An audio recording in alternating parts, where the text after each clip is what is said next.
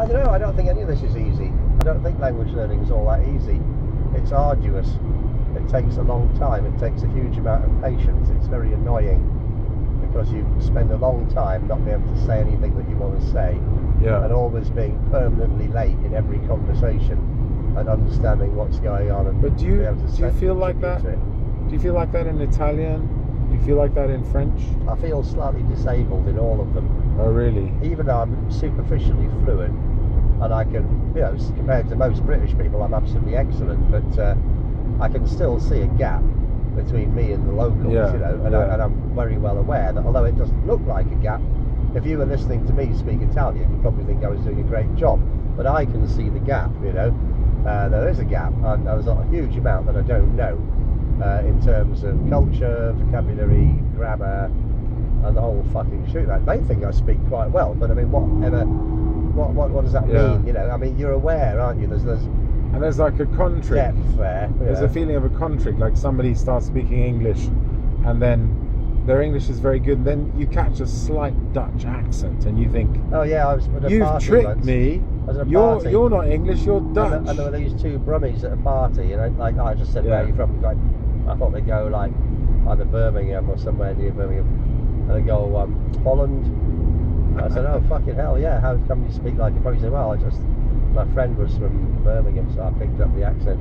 Yeah. But of course, they also watched British TV, so they Yeah. were watching all our TV since they were kids, and they Yeah. knew the jokes. They knew all our TV better than I did because they watched a lot of TV. Yeah, and then you realise that they know everything about your country and you know fucking nothing about their country. It's all their language, which is sort of embarrassing, isn't it? yeah. Um, Well, what what gets me sometimes is that, like, I'm in Mexico and I've been in Mexico for a long time, and then I've done a degree in Spanish, and then, and and you know, and I've lived in Spain and so on, and then I'm talking in Spanish, and then suddenly they realise that I'm not Mexican, uh, and then, and then they begin to listen to instead of listening to what I'm saying, they start to listen to uh, further evidence. to they start to listen to the way I talk or the words say something and it's like it it's, it's like when somebody's looking at you while you're walking you know and suddenly you find you can't walk anymore because they're I mean maybe that's never happened to you but let's imagine somebody's really staring at you while you're eating your food or something you get very self-conscious and maybe you drop something or Uh, you know well, maybe there's an argument there for not speaking somebody else's language too well. Then they, they don't get discomforted by the fact that you're too good. Uh, was it you that was telling me the story of the guy that spoke perfect Chinese? No, maybe it was Graham. He told me about this guy who Chinese triumphantly identified that he wasn't Chinese, even though he spoke very good Chinese, because of course he was a white guy, and therefore in their opinion he could never be Chinese. And it, and then he, the guy said to him, um, "Oh well, you can speak Chinese. I bet you can't read it." So the guy then demonstrated that he could read it. Well, I bet you can't write it. He then demonstrated that he could also write it, and he could write ancient Chinese. yeah But the guy's parting shot was, yeah, but you're not Chinese, are you? because you could never be Chinese. And I think that's kind of interesting, isn't it? People don't like the idea that you're on their turf and that you can do their thing quite well or very well. And you might even know more about well, it than they do. They find that's that the example of. Yeah, of yeah. one of our colleagues who who was Yeah. born in you know uh, you know what I'm talking about who was born in um, or who lived most of her life in the Emirates Uh, and could understand Arabic but was teased mercilessly because of her accent so that now she's too uh, shy to actually speak it. And and that's about like giving people the right to actually speak a language you know? When I went to work at the university, somebody said to me, this guy, an interesting guy, somehow mentioned in conversation, he just read this paper. Yeah that said, and there's no surprise here, that it might be worth paying more attention to pronunciation because people treat you as a local if you speak like them. yeah So if you've got some kind of authentic British accent, the Brits will treat you like a Brit. It doesn't matter what you look like. If you go, all right, then yeah, mate, you know, and you sound genuine, then you, as far as they're concerned, you're one of us. And they just overlook the fact that you might be Chinese, black, or whatever. You know, it's like the voice. That's it. It sounds like me. but it's also And then, they, so in, in a way, I was going to say though, the, the the way you speak leads to acceptance, but it has to be hundred percent successful. But the people also wary of people coming onto their turf. So if they feel that you've somehow inveigled your way in, and then they find out, they might be hacked. Especially the Japanese and people might be hacked off. So Yeah. it might be better to remain as a foreigner by making sure that you uh, not so good that they can't have a laugh at your expense, because then they're not worried about you insinuating yourself. Well, unless unless you actually Yeah. in their society and you have every right to be there and you know and what about a second generation Korean who speaks Okay. perfect English Second and somebody saying story, and somebody yeah. going oh you know what's she doing speaking I mean and no well why should it be No, another story is, when you why grow should up it be another country- story why should it be another When story you grow up in the country, then you speak like everybody else. no, It's no, different, uh, yeah. it's different. Like for example, I know uh, young women who've arrived when they've been when they were girls. They were like 12 years old, and then they were told that they were not, you know, that they were going to be integrated, and that they were not English, but they're going, were going to be taught English. And the mere act of telling them that they were not English and they were going to be taught separately gave them a sort of rigid identity as like not of the place. What kind of people And these people, these uh, refugees, asylum seekers, and these people, right? They still had accents later on, and they had accents because it was they'd been given those identities and told, don't think that you're one of us. You know, don't lose your accent. Don't think that you're one of us because you're not. You're You're somebody out. else. Right. Okay. Well, I don't know about that.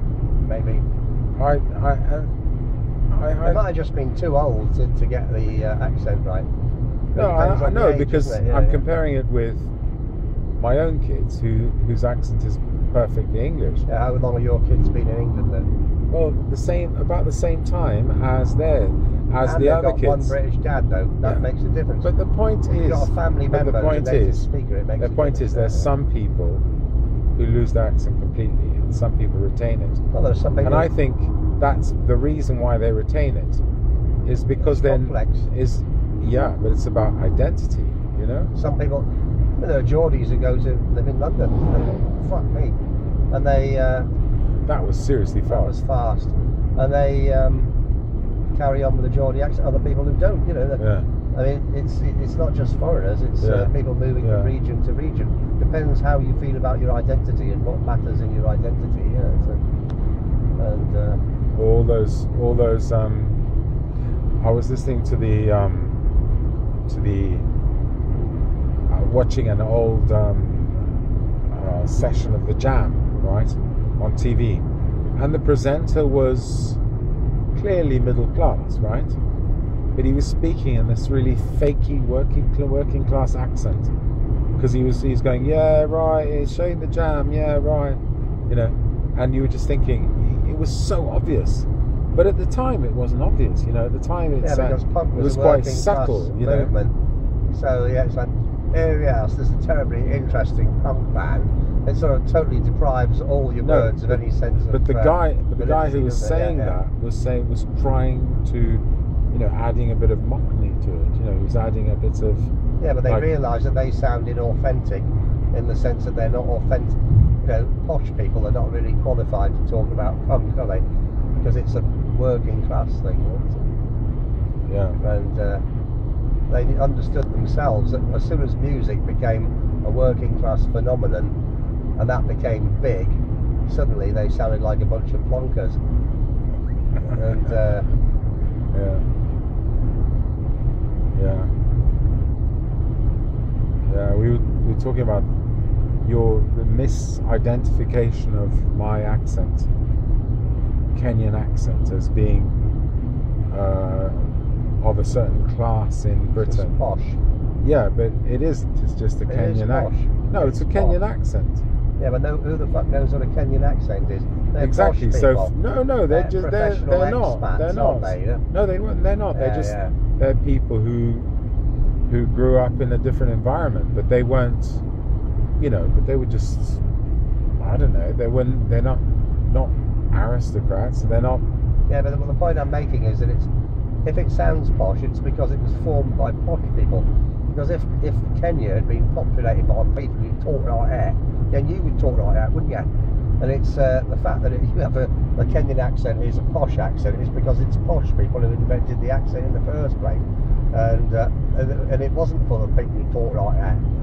And uh, because I don't suppose you get a whole heap of you know working class people living in Kenya, you?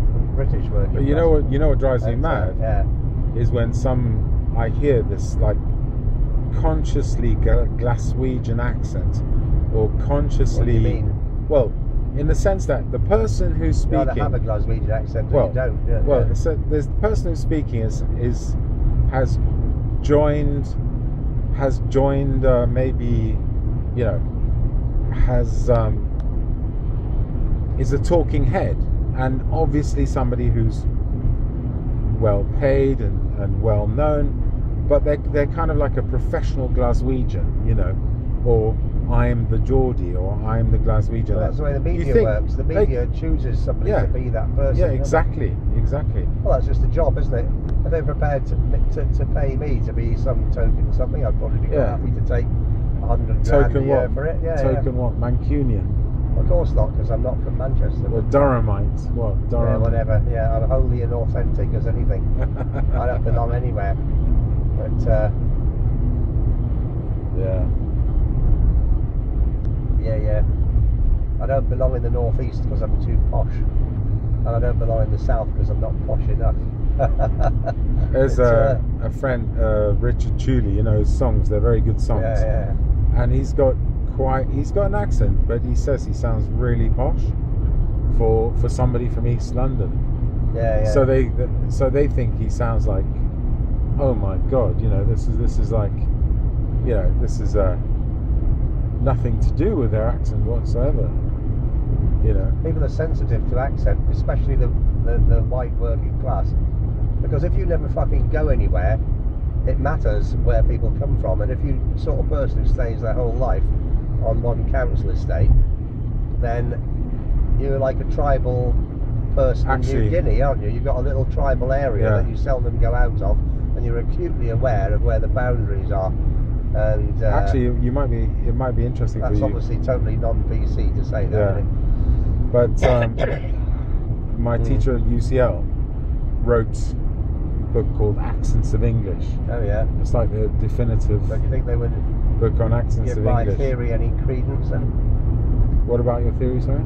That people are acutely aware of the boundaries of their local area in terms of accent. You know, you, you- in the northeast, you can move five miles and you're, you're, you're a foreigner, you know, and the people know you're not from where they come from and it's only fucking five miles away.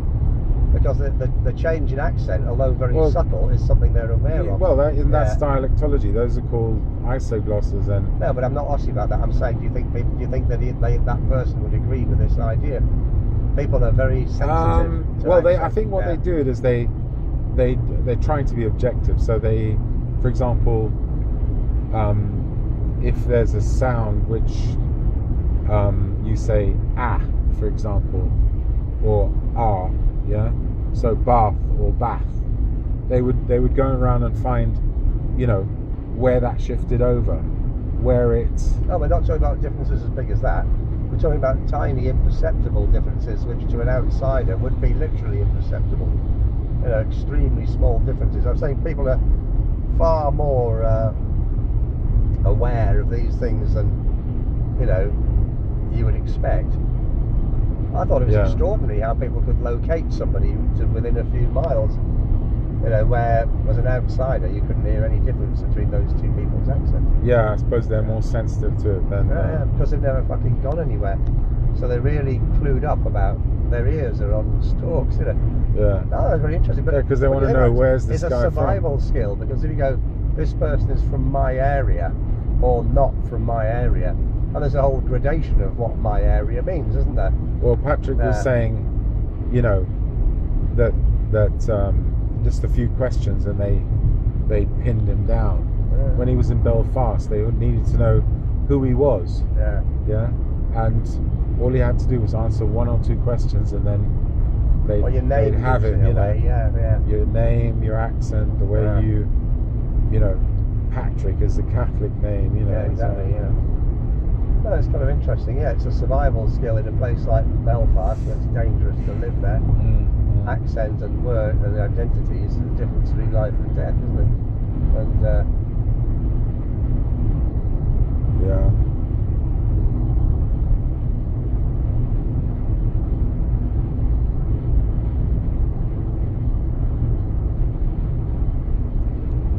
So, how are you getting on with um, Farsi?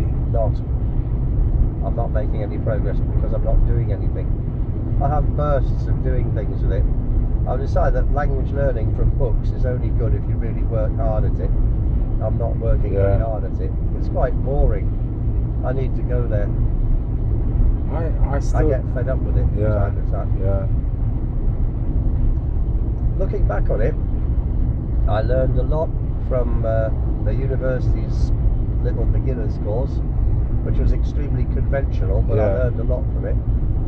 It was dull, you know, in a way. It was just like going to school in the 1970s, you know. yeah Things on the board, go home and learn your vocabulary, all that shit, you know. And it, but it did kind of novel quite a lot of stuff. And I also learned quite a lot of stuff from doing the TPR. But going back to the books and just going through the books, I just find I get hacked off with it, and I doesn't stick in my head well at all. Uh, when I'm looking at it, it seems to make Yeah. sense, and I just forget all about it. I Well- still can't do anything fucking useful. As far as Arabic's Yeah. concerned, I'm I'm really a bit freaked out because, you know, okay, I learned Russian, that was all right. I learned Spanish, that's okay. I kind of understand French, and then with Arabic, it's been so slow. I'm Yeah, I, but don't forget, you're not I- doing it full time. You, you learn Russian Well, I- I studying my at university. yeah, but I hear my busy students. I hear my students all the time. You know, it's all around me wherever I go, and Yeah, but it's not around you in the same way, is it? No, but the thing is, like, when I'm listening to the hmm. TV, I can kind of go, I understand what they're talking about, but there's no effort involved. Do You know what I mean? It's like, but it's not completely clear. It's like when I when somebody's talking Russian on the telly, I can understand everything they're saying. Yeah, because there's Okay. a massive difference between doing a bit of something and doing a lot. Yeah, but then I'm listening, Yeah. and then there is there. I can, I can get the Yeah, general how long did topic, it, how you know. long, how long did it take you as a full-time student to learn Russian? You know, in terms Four of years. thousands of hours, Four you put in fucking thousands of hours into learning Russian, Yeah, and you haven't put in thousands of hours into learning Arabic. That's the difference, isn't it? Four years of full-time study is bound to make a difference, isn't it? You get up and like morning till night, you're thinking about Russian. Well, if you did the same with Arabic, you'd be laughing, wouldn't you? But you don't. You do a little bit, tiddling bit here and there. I'm just trying to think uh, of a yeah. solution to this problem of Go, learning Arabic. go to another country where you're more involved with Arabs. Here, we don't meet Arabs, we just have our students. You need to go out and buy the bread, ask the way. You need to go somewhere like Oman, where you're going to use Arabic with everybody in normal life, and that's how you start building it up. I think that's the absolute hmm. secret. Because you can't just go in and start talking to people when you haven't got any proper conversation, but you can go in and ask for the newspaper and a bottle of milk, can't you?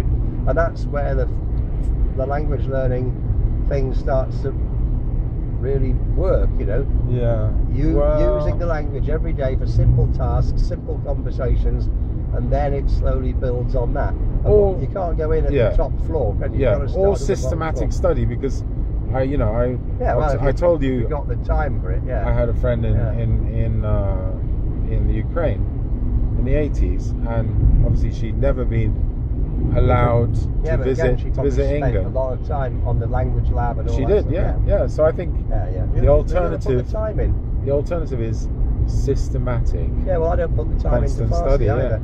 If I've spent an hour or two on it, fuck about with it a bit, then I just leave it for a few weeks, and I do a little tiny bit more. Of course, I'm not learning it. So If I sat down for an hour a day, every single day, So, I'd Pete. get it in my head, you know. So, yeah, Pete, yeah. if you were to give, let's say, you have more than 35 years experience teaching languages, and you speak five languages, and I have 30 years experience, and I speak three languages, and I'm le- and and I'm okay in one in another. So, if you could give somebody advice who's thinking of learning another language, what advice would you give them? Go there. No, but I mean, like, go there and what? I mean, you can go somewhere. And first go there. Yeah, okay, maybe have a small on, language man. course to give yourself the rudiments of the language and then go there as quickly as possible. I think going there is 99% of it. You know? And once you're there, and that means going to a place where you can use Well, the here I language. am. Yeah, but you're not, are you? You're not here. Because when you go to the shops, you talk to the Indians and the Filipinos. But you're not in a place where you can have the kind of meaningful interactions with Arabs that are going to help you learn the language. You understand me? Yeah. I listen to I've listened to many thousands of hours of Farsi at home. Does that mean I know So Farsi? No, Italian. because you. But no, but listen. Yeah. You don't learn a language from thousands of hours of incomprehensible input. You have to go in at the bottom, sort a few basic Okay. things out, and then when you get to a certain point where you have independence and lift off, then you can bootstrap your way to the rest of it. But if you don't reach that crucial point by Well- developing interactions at a very basic level, Well, my- you can't get to the next point. Well, my yeah. my um, my point about like if I was to give somebody advice uh, about learning another language, um, I would basically say that. Um, well, I'm not. I'm not really in a position to because I'm not doing very well with Arabic. But you know but- about it. Yeah, you've done it before. Yeah, I've done it before. But I would say that the biggest boost, okay, first of all, do study the grammar and the phonology, the pronunciation and everything else first so that you have a system, even though it's only a skeletal system, you know, you have some sort of framework which you can peg things on later on, you know? So I think a bit of study before you go somewhere is good, you know? And um, serious study, you know, uh, maybe months, maybe even a year. Well, the point is, it has to be enough to get you to the point Yeah. where you can start exactly. No, it has to be the basics. So the tenses, basic vocabulary, you know, basic functional language, and so on. To the point where, as you say, you can interact with people on a very basic level.